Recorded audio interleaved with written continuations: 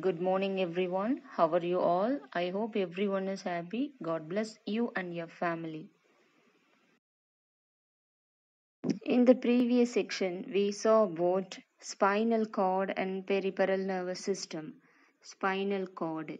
The spinal cord is a long, phalangeal, tube-like structure that begins at the end of the brain stem and continues down almost to the bottom of the spine. Spinal cord consists of nerves that carry incoming and outgoing messages between the brain and the rest of the body. Next one, peripheral nervous system. Peripheral nervous system is a division of the nervous system containing all the nerve that lie outside of the central nervous system. The primary role of the peripheral nervous system is due to connect the central nervous system to the organs, lymph and skin. The peripheral nervous system itself is divided in two parts, the somatic nervous system and the autonomic nervous system.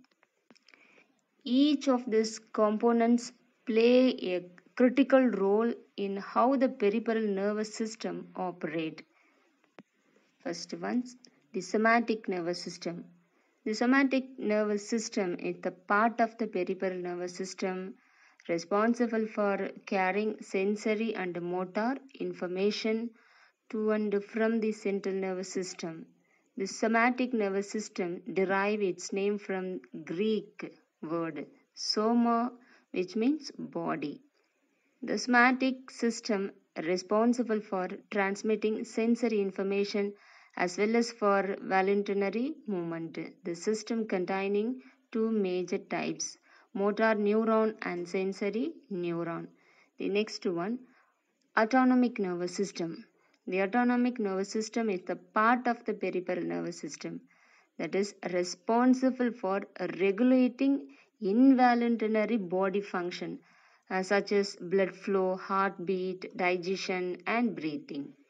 In other words, it is the autonomic system that control aspect of the body that are usually not under voluntary control. The autonomic nervous system is further divided in two branches sympathetic nervous system and parasympathetic nervous system. Sympathetic nervous system prepare the body to expend energy to respond to environment threats. Next one, parasympathetic nervous system. This is helps maintain normal body functions and conserve resources. I welcome everyone back to my class. Today we are going to discuss about a new lesson allergy. What is an allergy? Allergy occur when your immune system overreact to substances called allergens. Common allergens that can trigger allergic reaction include pollen, pet dander and bee venom. The people also have the allergies to certain food and medicine. Who gets allergies? Allergies are the sixth leading case of chronic illness in the United States. More than 50 million Americans each year suffer from an allergic related disease or condition including hay fever, asthma, conjunctivitis or pink eye, hives, eczema or atopic dermatitis and sinus infection or sinusitis. According to the Center of Diseases Control and Preventions, at least 20 million Americans 18 and older and more than 6.1 million children were diagnosed with allergic rhinitis, commonly known as hay fever. In 2015, another 20 million Americans were diagnosed with respiratory, food, or skin allergies. What happens in the body during an allergic reaction? Allergens are typically harmless substances that trigger an immune response. response and cause a reaction in people who are allergics. The allergic reaction occur if the person inhales, touches, swallows, inject or somehow comes in contact with an allergen. Allergic reaction can be mild, severe or even life threatening.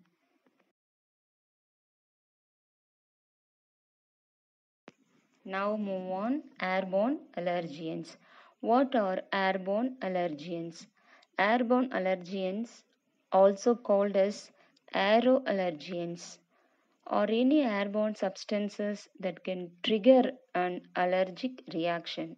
Suffering from a running, runny nose, congestions or sneezings, it's not always related to the common cold.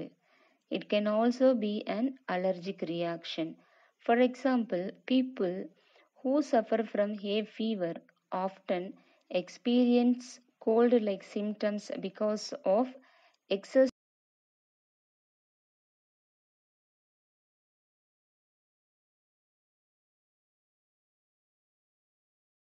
Now move on pollen allergy. What is a pollen allergy? Pollen it's one of the most common triggers of seasonal allergy. Many people know pollen allergy as hay fever, except usually refer to pollen allergy as seasonal allergic rhinitis. Each spring, summer and fall, plant release tiny pollen grain to fertilize other plants of the same species.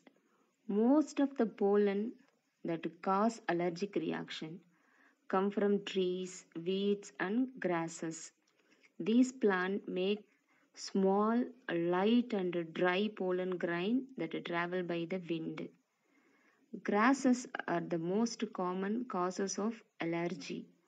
Ragweed, it's the main causes of weed allergies.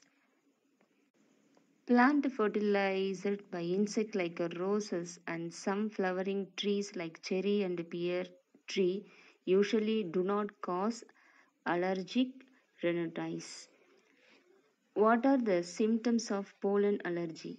People with pollen allergy only have symptoms when the pollen they are allergic to or in the air. Symptoms include runny nose and mucus protection, sneezing, itchy nose, eyes, ear and mouth, stuffy nose, red and watery eyes, swelling around the eyes. Now move on. Mold allergy. If you have an allergy that occurs over several seasons, you may be allergic to the spores of mold or other fungi. Molds live everywhere Upsetting a mold source can send the spores into the air. Mold and mildew or fungi. They are different from plants or animals in how they reproduce and grow. The seeds called spores travel through the air. Some spores spread in dry, windy weather. Others spread with fog or dew when humidity is high. Inhaling the spore causes allergic reaction in some people. Allergic symptoms from fungal spores are most common from July to early fall. But fungi grow in many places, both indoor and outside. So allergic reaction can occur year round. What are the symptoms of mold allergy? The symptoms of mold allergy are very similar to the symptoms of other allergy, such as sneezing, itching, runny nose, congestions, and dry, scaling skin. Mold spore get into your nose and causes hay fever symptoms. They also can reach the lungs and trigger asthma. Now move on. Dust mite allergy.